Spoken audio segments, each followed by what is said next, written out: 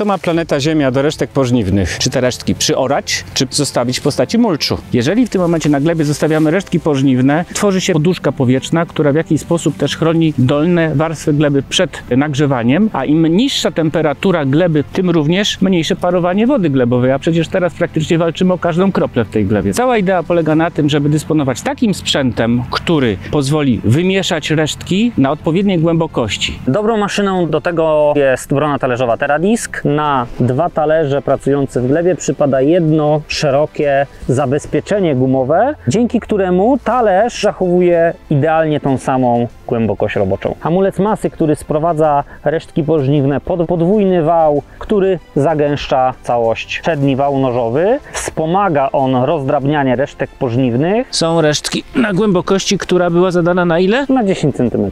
Resztki pożniwne to po prostu jest to, czego teraz tej naszej planecie potrzeba.